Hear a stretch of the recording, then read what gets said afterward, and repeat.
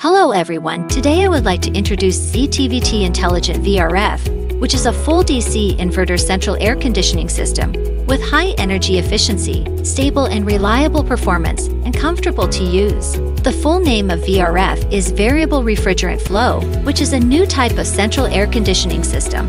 Flexible installation, reasonable layout, the indoor and outdoor units are connected through copper pipes, and the pipeline layout is flexible. Only one outdoor unit is needed to connect multiple indoor units, which saves floor space. Indoor split machines can be reasonably arranged according to the usage of the room to improve space utilization.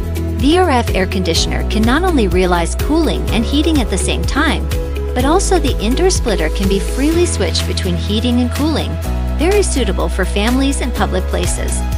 To summarize, VRF system integrates energy saving and environmental protection, heating and cooling free switching, flexible installation, quiet and comfortable in one.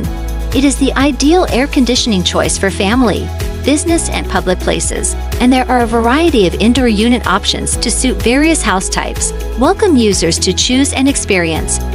I made the first VRF purchase in 2018 then, in 2019, I finished purchasing everything else related to the whole installation, which include the cover and all the accessories, in which uh, zero companies provided me everything. So far, it, it has been three years since the installation and everything is working 100% perfect.